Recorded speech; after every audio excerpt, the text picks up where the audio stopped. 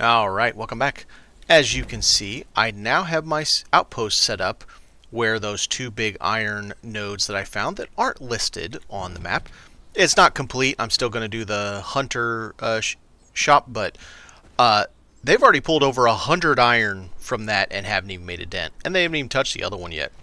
This is great. Anyway, that's not the video. The video today is I want to talk about beggars. So, I know people are gonna be like, "Well, why are you hiring beggars?"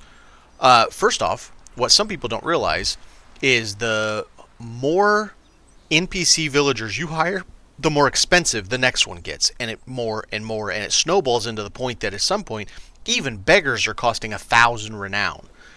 I ended up getting four people to set this up, plus two beggars. I had over nine thousand uh, renown. I have twelve hundred now. So they're it, it's chewing through it. But I want to make a point about beggars that they are good for one thing and one thing only, and that is as a guard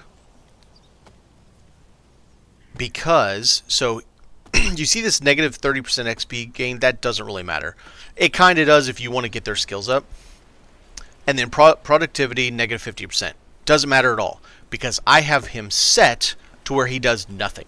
Like I have him set to where he doesn't touch anything anywhere ever. He is only ever a guardsman.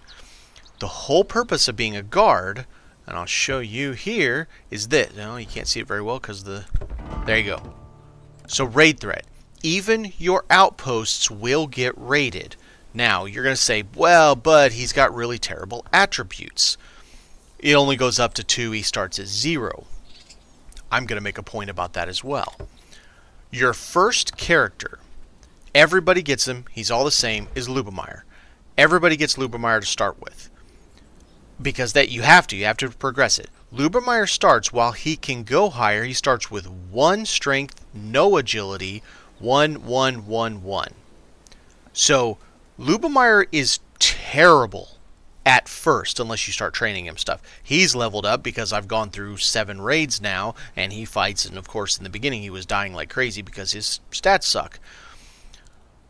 This guy as a town guard, having a beggar as a town guard, A, he's cheaper to hire, but B, it doesn't really matter what his stats are because what he's doing is reducing the frequency between raid threats. Now, some people don't care. Some people want their uh, threats to be more. They want to do all kinds of raids because you get stuff for them. I don't really want that for my outpost. I want my outpost to get raided as few times as humanly possible because I don't want to have to deal with this. I just want this to be autonomous and do everything it can by itself. And that's the purpose, in my opinion, of getting a beggar. I, I do have a tip, though. Get a beggar that's close. I made the mistake, and I got a beggar from Blackridge Pool at first. This dummy ran all the way over here, all the way over here, and then got stuck right here because he couldn't find this bridge, I guess.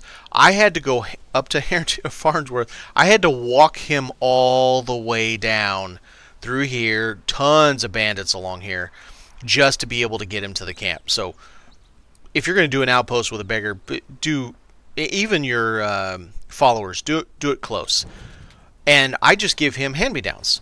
So my main town, everybody is sitting in um, Gambesons. So they all had adventurer's garb, and I just tossed it on him. And he still, I haven't even put the gloves on him, the old gloves that I had for everybody, or the old shoes. And quite frankly, this is all Lubomir started out with, and I got through the first two raids, I think, without Lubomir dying, back when I had like two villagers or something. It'll be fine, and it reduces the frequency between raids. Alright, thanks for watching.